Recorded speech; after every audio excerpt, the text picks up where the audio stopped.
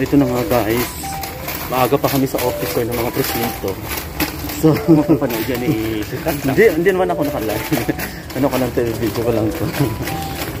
Kasi ito na nga. Delete mo na. Narinig yung sabi ko.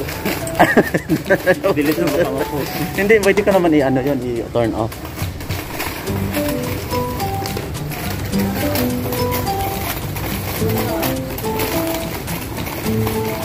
Ito video lang ha. Tubig na dito. Kaya nga tayo tubig. So, nandito nga kami sa dulo.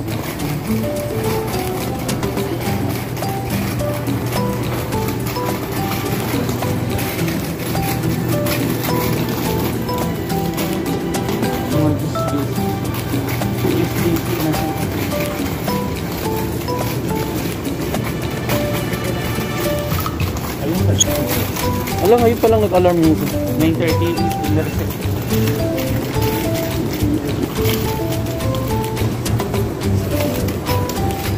Huwag na tayo dito mamili ng pagkain ng ano doon, doon sa bahay. Doon na tayo sa lulu sa likod sa atin kasi mabibit-bit tayo ng madami. Diyos ko, Hindi pagkain dun. Oo. Hindi may pagkain sa bahay. Wala, wala. Ala, ang ganda-ganda natin, Lola. Ito. Yung holidays ko like price.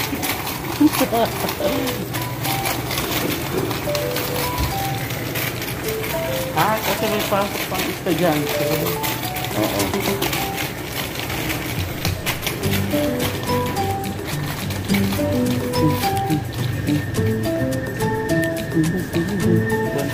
Saan tumayo?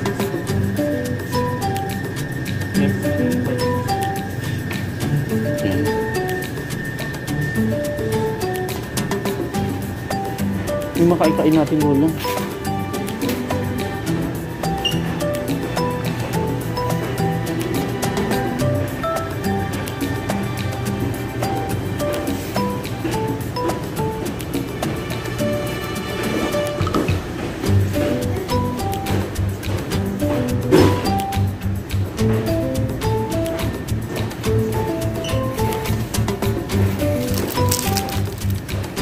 ga, ganito, oh.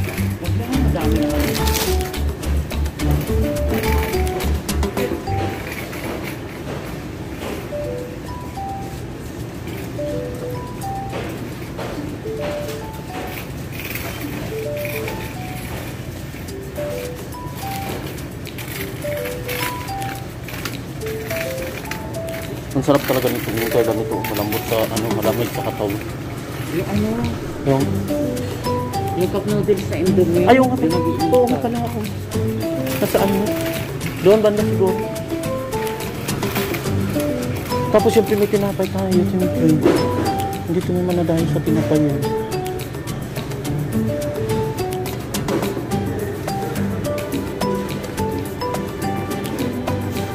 Yung hindi na tayo magpalaman, ang lola.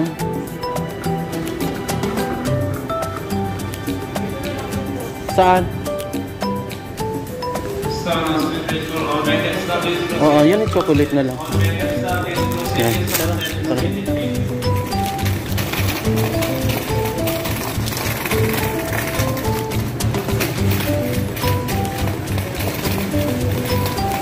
Yan din ang receptionist sa hapon na mag-kitchen ka. Mm Di pala siya reception. Apat pala daw sila ng mga Pilipino doon.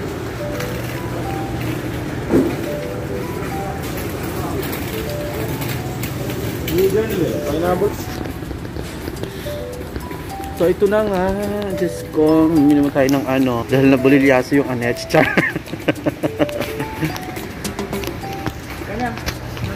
Ayan. ay, Oh, ito, ito, ito, ito. Bulalo. Masarap ang bulalo. Bulalo din sa'yo? Okay na. Ano pang kukunin mo? Wala na, tama na yun. Yan na ba? Ano? Diyos ko po. Yan na yun. Ano magagawa natin?